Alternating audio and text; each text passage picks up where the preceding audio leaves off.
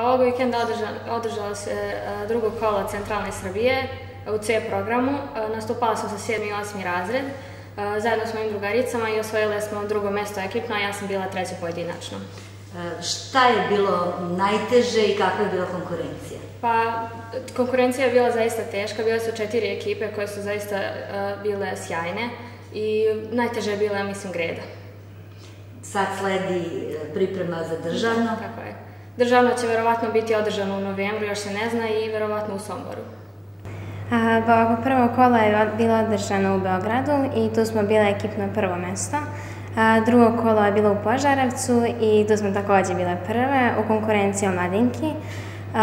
bila sam druga pojedinačno, moja sestra prva, tako je bilo i u prvom kolu, uvijek je bila pored mene.